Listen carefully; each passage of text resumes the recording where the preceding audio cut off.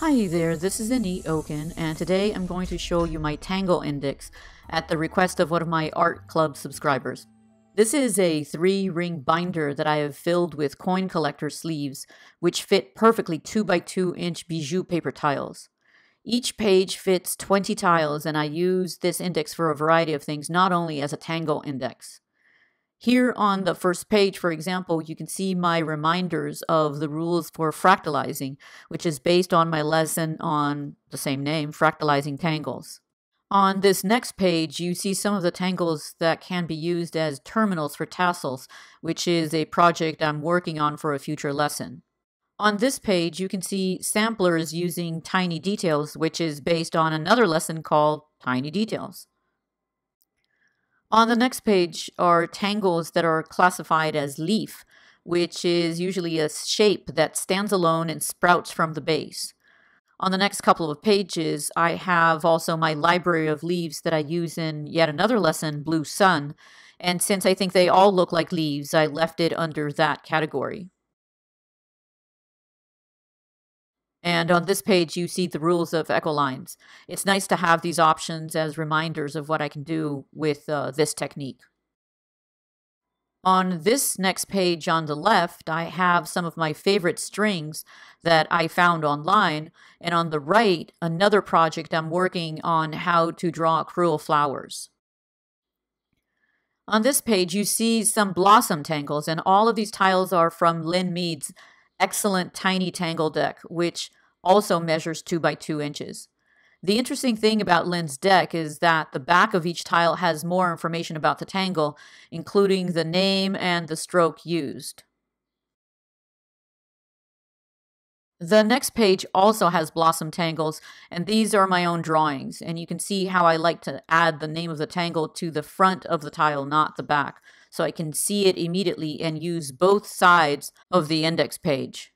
And here you can see more blossom tangles. I seem to have a lot of those.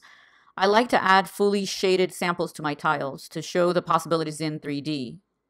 These next tangles are classified as vine, and they grow exactly like vines, spreading out organically but still connected to a center skeleton or a backbone. And here are more vines. And on the right, you can see some edge weed tangles, which are tangles that seem to sprout along an edge and grow upward. Here's the first page of the organic filler tangles, and these are tangles that spread randomly in all directions and just happen to be my favorite type of tangle. And as you can see, I have a lot of those in my index.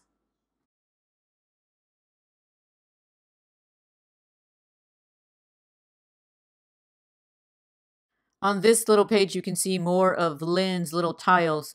I try to keep them together even if they're repeated from the ones that I drew because they have information on the back.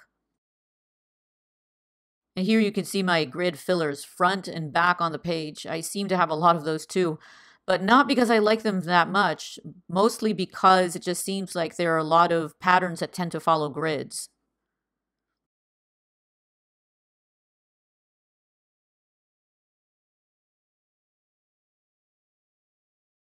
And here's another favorite type of tangle, ribbon tangles. And these are patterns that seem to follow and grow along a straight or curvy path. I find them very, very useful.